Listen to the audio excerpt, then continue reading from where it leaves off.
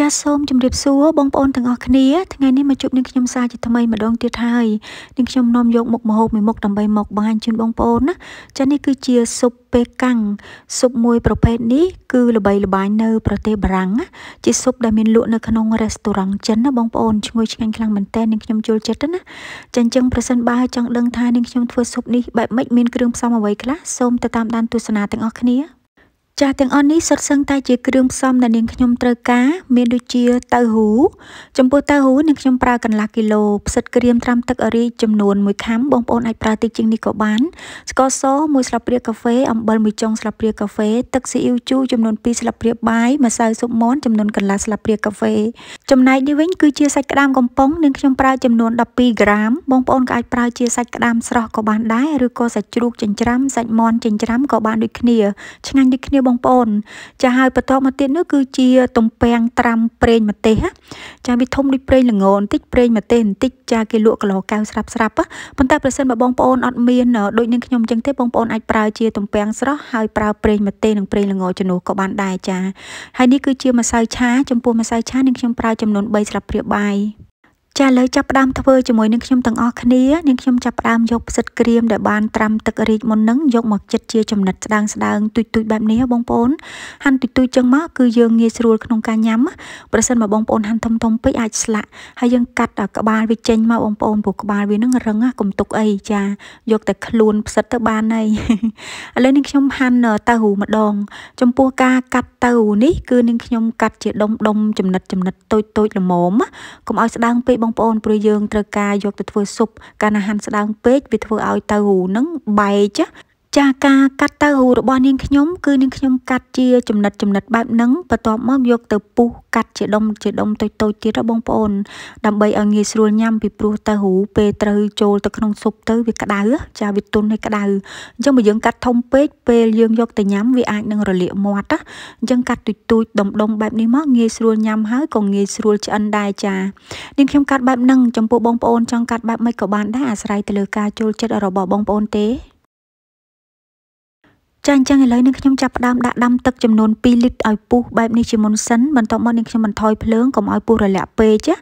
ចាបន្ទាប់មកទៀតនោះនាងខ្ញុំដាក់សាច់ក្តាមកំប៉ុងចូលទៅទាំងអស់តែម្ដង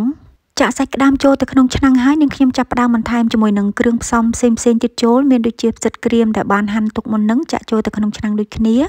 បន្តមកទៀតនឹងខ្ញុំបន្ថែមជាមួយនឹងទំពាំងត្រាំជាមួយប្រេងល្ងនិងប្រេងម្ទេសចាក់ចូលទៅក្នុងឆ្នាំងដូចគ្នាផងដែរចារួចមកទៀតនឹងខ្ញុំបន្ថែមគ្រឿងផ្សំផ្សេងផ្សេងទៀតចូលក៏មានដូចជាអំបិលចំនួន1ចុងស្លាបព្រាកាហ្វេបន្ថែមជាមួយនឹងទឹកស៊ីអ៊ីវជូរចូលទៅក្នុងឆ្នាំងស៊ុបដូចគ្នាបន្តមកទៀតបន្ថែមជាមួយនឹងស្ករស ចាបន្ថែមម្សៅស៊ុបមាន់ចូលទៅក្នុងឆ្នាំងស៊ុបដូចគ្នាផងដែររួចមកទៀតនាងខ្ញុំត្រូវការបន្ថែមជាមួយនឹងម្សៅស៊ុបបន្លែបងប្អូនមួយស្លាបព្រាបាយចំពោះម្សៅស៊ុបបន្លែនេះផងដែរប្រសិនបើបងប្អូនអត់មានមិនបាច់ដាក់ក៏បានដែរ ចាបន្តមកទៀតនឹងខ្ញុំបន្ថែមជាមួយនឹងទឹកម៉ាជីចូលបន្តិចចាប្រសិនបើបងប្អូនអត់ចង់ដាក់មិនបាច់ដាក់ក៏បានដែរបងប្អូនចំពោះទឹកម៉ាជីនេះហើយបន្តមកទៀតនោះគឺនឹងខ្ញុំបន្ថែមជាមួយនឹងទឹកត្រីចូលបន្តិចផងដែរនិយាយរួមគ្រឿងផ្សំទាំងអស់នេះបងប្អូនថែមថយទៅតាមការចូលចិត្តបានណាចាហើយបន្តមកទៀតនឹងខ្ញុំបន្ថែមជាមួយនឹងទឹកក្រូចឆ្មា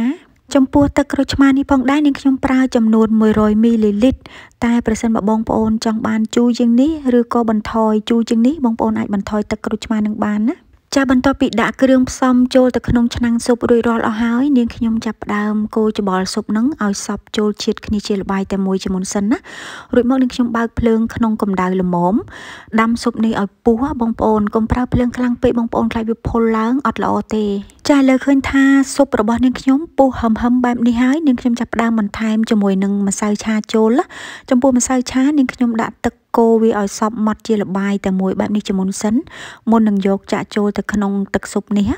ចាក្នុងការចាក់ចូលទៅក្នុងទឹកស៊ុបហ្នឹងបងប្អូនចាក់បណ្ដើបងប្អូនត្រូវវាយកូរវាអញ្ចឹងបណ្ដើ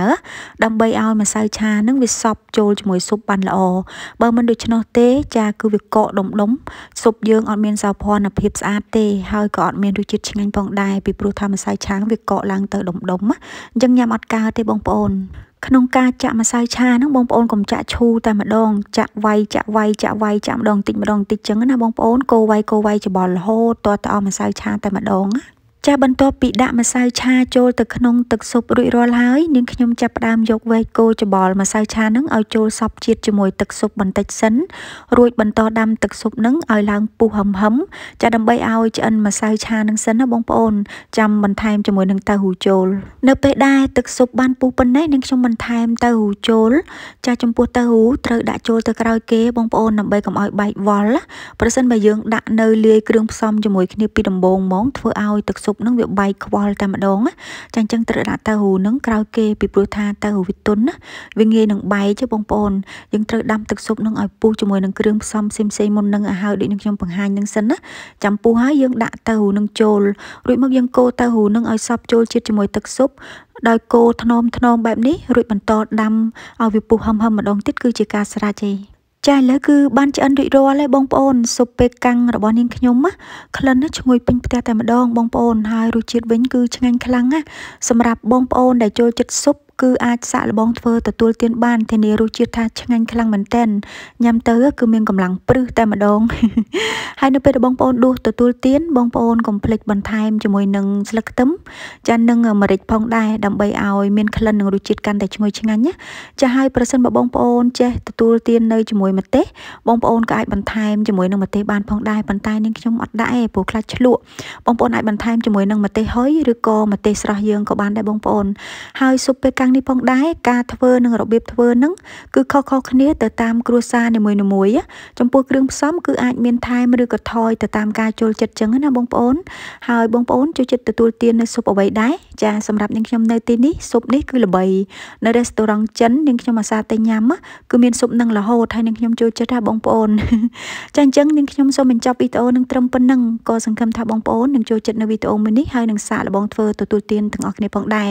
ចាំជួបនាងខ្ញុំនៅពេលវេលាក្រោយៗនៅឱកាសក្រោយទៀតក្នុងគណៈពេលនេះនាងខ្ញុំសូមអរគុណសូមជម្រាបលា